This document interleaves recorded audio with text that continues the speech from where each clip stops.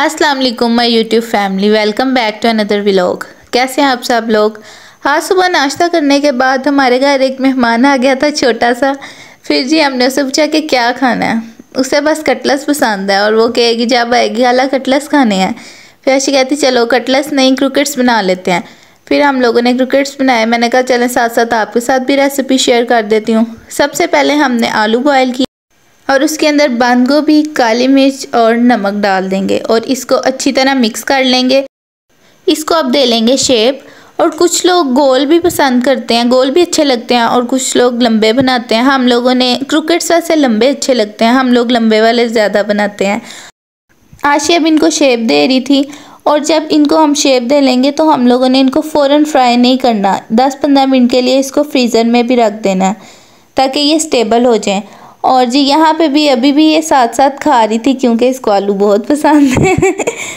Shape देने के बाद इनके ऊपर अंडा और ब्रेड क्रम्स लगा लेंगे। और इनको 10-15 मिनट के लिए हम लोगों ने फ्रीज़र में भी रखना है, याद से।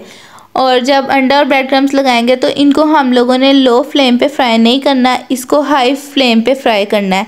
क्योंकि अगर हम इनको लो फ्लेम पे फ्राई करेंगे तो ये खुल जाएँगे सारे और ख़राब हो जाते हैं। मेरे साथ एक दो दफ़ा ऐसे ही हुआ है।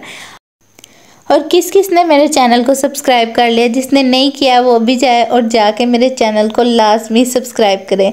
और आज हम लोगों ने दोपहर में बनाने थे आलू बैंगन और इसको इसकी मामा ने बताया था कि हमारे छत पे बहुत सब्ज़ियाँ लगी हुई हैं।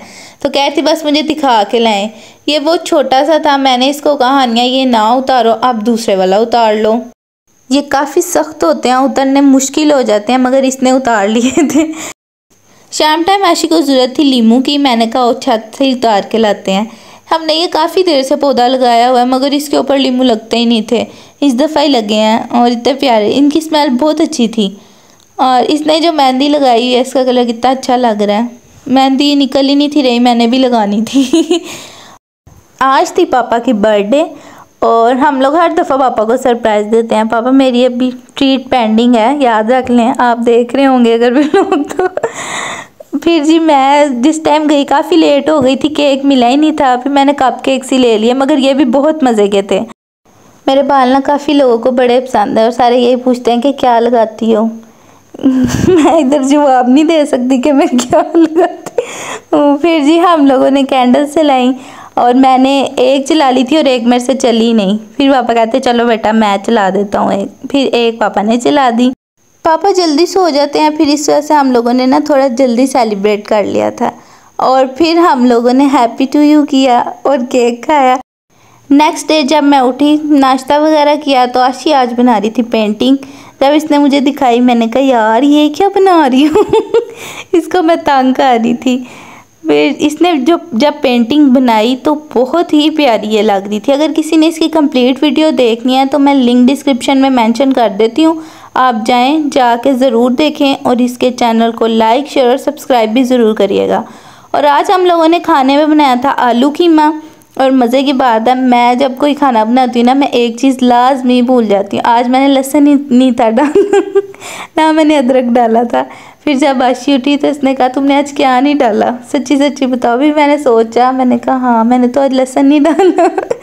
और आज की एक इम्पोर्टेंट बात ये है कि how to ignore peoples who hurt you जो लोग भी आपको हर्ट करते हैं ना, आप लोग सिर्फ़ इग्नोर करें और इग्नोर करें और अपनी लाइफ में आगे बढ़ें। अगर आप कुछ कर भी रहे हैं, अगर आप फारिग बैठे हैं ना, तब भी आपको कहेंगे, यार, तुम फारिग बैठे हो। और अगर कुछ कर भी रहे हैं, तब भी। ऐसे ही होता है बस। और ये सब साथ साथ चलता है। आज ना मेरा बड़े दिन से दिल कर रहा था पापड़ी चाट खाने को। मगर कोई ला के देने वाले नहीं तो फिर आज मैंने मंगवा ही ली। चलें अब आप मुझे खाने दें, पापड़ी चाट, और मुझे रखिएगा दुआ में याद। और सबसे पहले जाएँ और जाके मेरे चैनल को लाइक शेयर और सब्सक्राइब ज़रूर करें।